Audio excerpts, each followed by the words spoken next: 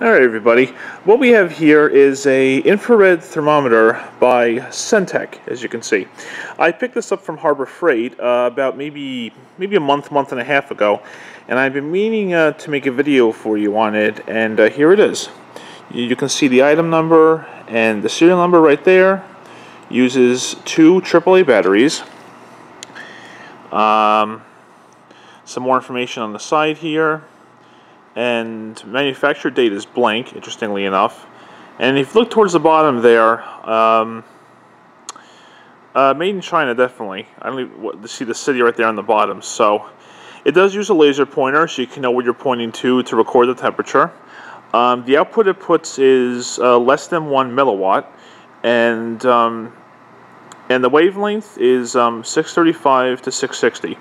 Uh, the battery compartment is pretty um, pretty interesting. It's actually inside this handle here um, with this right here. If I can just carefully take it off. Yeah, there we go. See, it's coming off. Should have done this over here earlier. Sorry. Yep, and there's the uh, there's the two AAA batteries right there that they slide into. And uh, let me see if I can get this on safely again. Just bear with me here. Oh, there we go. See, so so battery compartment's right there, easy to hold. And I'll just give you a little example. Um, you can choose between Celsius, Celsius and Fahrenheit. So we'll just measure something here quickly just to show you. Okay, uh, let's see, what is it on? It is, it's got a focus. It's on Celsius. Let me switch it over. Okay, I'll do both actually for you guys. We'll take, we'll take the temperature of this pole here. So you just hold down the trigger, point the uh, laser, whatever you want to take the temperature of, and the current, current temperature of this pole is uh, 57 or roughly 58 degrees Fahrenheit. And if you're curious about Celsius, it's about just about 14 and a half, 14.8 or 15. okay, you see keeps going up and down. And uh, this thing is pretty pretty nice to have. Um, I've wanted one of these for a long time, actually. It's very simple, really. Simple device. You just, you know, hold it, pull the trigger, and then um, hold it down, and then I'll give you the, temp the temperature readouts of stuff. Now, I don't know exactly what the longer, what the longest distance is that it can handle, but I mean, it's probably more accurate the closer you are. Like here, I'll, I'll shine it or I'll shoot it at the, um, the foundation wall there. Uh, yeah, you can see the laser pointing right there, okay? And uh, it's on Celsius. It's about 13 degrees, and Fahrenheit's about eh, roughly 55. So yeah, the closer you are, the, more accurate it is, but it is pretty good with distances. And um, and it, gives you good readouts along with that. So what I want, what else I want to use this thing on is um, my mom's going to be um, using the sinks pretty soon. So when she does, um, the water heater will obviously cycle on. And then um, once she does that um, and the water heater's going, I'll give you temperature readouts on the water heater and also on the uh, furnace down there as well. Alright guys, my mom's currently uh, using the sink, so um, you can hear that the hot, water's, uh, hot water heater is currently running. So um, let's have a look at the temperatures um, through here. You have um, the cold water inlet, uh, the exhaust pipe, and this is the hot water outlet, and of course it's insulated, so we'll see how the insulation is doing. And it's a gas water heater, once again, for those of you who didn't know. So let's see, we'll, we'll start with Celsius, then we'll go over to Fahrenheit. So let's see. Uh, the cold water coming in is about 14 and a half degrees. The exhaust pipe is about 44 degrees. Now the top of the fan itself is going to be a little bit hotter. Yeah, see 54 degrees. Okay. Now the insulated hot water pipe is um, it's about 28, 29. So it's doing pretty well, I'd say. Okay. Go over to Fahrenheit. Let's see what we got. We have, um, yeah, roughly about 60 degrees. That, that's pretty normal for uh, cold, cold water. You can see it's right on the pipe right there. Okay. The exhaust pipe is uh, about 116. I think 120 is about how hot it usually gets. So uh, that, that's pretty normal. Now, uh, the top of the exhaust fan, let's see. Okay is about 130. Yeah, that, that, that's pretty normal that it's hotter there because um, there is an inlet on the back, which I'll show you, that kind of cools down the exhaust pipe.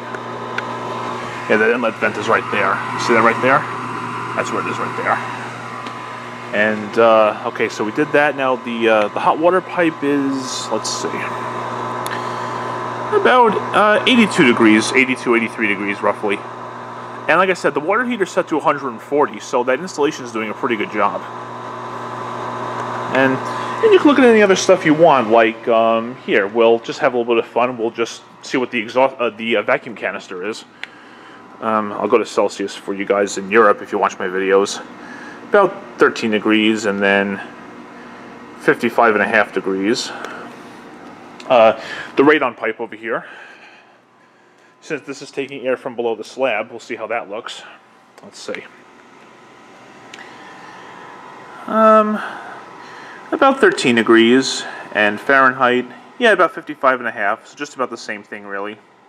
Yeah, this is a really great device. Like, you know, if you ever want to use, um, I know like one time on, on my car, um, one of my calipers for my rear brake was sticking and it was getting really hot. So I knew something was wrong there, obviously. So this is a good tool for that, like looking at engine temperature, brake temperature, things like that.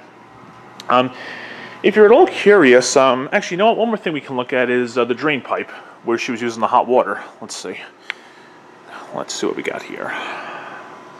Yeah, it's on there about 26 degrees Celsius and about 70, it's going back down because I think she stopped using the water.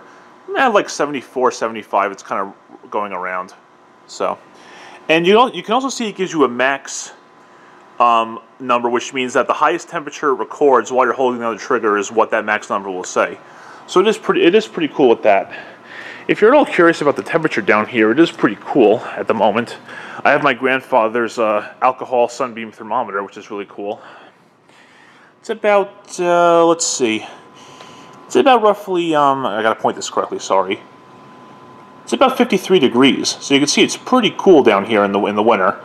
And that's about, uh, what is that, maybe 12 degrees Celsius? Yeah, so it's kind of cool how it does that. I think you might hear some water come down here in a minute. Let's see. Yep.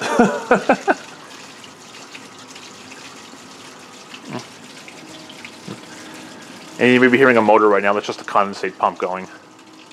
Now, what's the temperature of that water while we're at it? Kind of stay on topic here. Let's see. Um, about 30 degrees Celsius and uh, 80, well, that's interesting, uh, about 80 something degrees Fahrenheit. So it must still be pretty hot, or pretty warm, rather, in that um, in that uh, drain pipe. Dehumidifier is probably the same temperature as around here because it's, it's, not really running.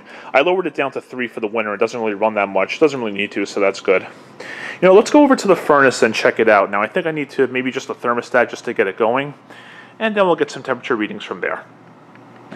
And for the last thing here, I guess we'll just do some... Uh, some temperature readings over here on the furnace. Now the furnace has been going for a while. It's going to uh, zone 1 currently. And uh, let's see um, some of the things that it gives us. Um, I can get some temperature readings from here. We'll start with the intake and the exhaust ducts. We'll give some temperature readings on those. Okay? Let's see. There it is right there. see. About, uh, this is outside air, so that's why it's pretty low. 14, about 15 degrees Celsius and uh, just shy of um, we'll round it down, or no, okay, 59 degrees Fahrenheit. Now I want to show you something on the exhaust duct because I had told you that this never really gets too hot to touch. You can tell they're using PVC pipe. Let's have a look at that. Um, about 36 degrees Celsius and Fahrenheit 97. I think the hottest I ever saw this get up to is like 102.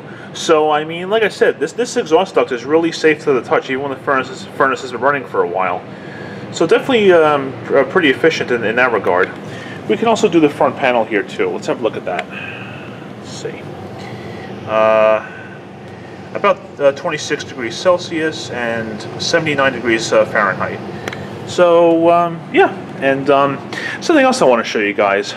This is the supply duct right here, okay? You notice there's no insulation on the outside of it, but there's actually insulation on the inside of the duct, and I'll show it to you with this, okay? We'll aim, we'll aim up here above the whole house humidifier. Okay. Uh, let's see. Well, we'll start with um, Celsius. Look at that, about 15 degrees. And look at that, just shy of 60, or about 60 uh, Fahrenheit on the outside. Now you know very well that there's no way that there's 60 degree air going through the inside of that duct. You can tell just how very well they designed this duct in that here's the insulated one right here on the outside, but it's also insulated on the inside here, so you're getting very well insulated heated air, which is very, very good usage. Same with the um, with the um, return duct. You, the temperature reading on here won't, won't really indicate anything, but listen to this. You hear that? That's definitely insulated. Definitely a good system right here. And um, is this insulated too? Yep, same here. See how that doesn't sound too um, bare, I guess? Yeah, very, very good design. And, um, you know what, just for the heck of it, the, the drain pipe to the condensate pump, let's have a look at that. Okay, there it is right there. About 25 degrees Celsius and roughly 78 degrees uh, Fahrenheit. That's just the warm water coming from the furnace. And, um, okay, one more thing. this is officially one more thing. The condensate pump, um, where the water is, let's see, roughly 18 degrees Celsius and 65 degrees Fahrenheit. Cool stuff. So like I said, guys, this is a great uh, tool to have, the infrared thermometer. Once again, this is a Cen-Tech. Again, you could find this at Harbor Freight, and I got this for, after tax, um, roughly just just over $30. So it really isn't all that bad of a price at all, honestly. And this thing can do many, many things, which is great. Like I said, it's great for HVAC equipment, water heaters, cars, anything, you know, a very fun thing to have. And that's about it. So, um, great product. I do recommend it, and um, very helpful in many regards. So there you have it, guys. As usual, thank you very much for watching, and take care.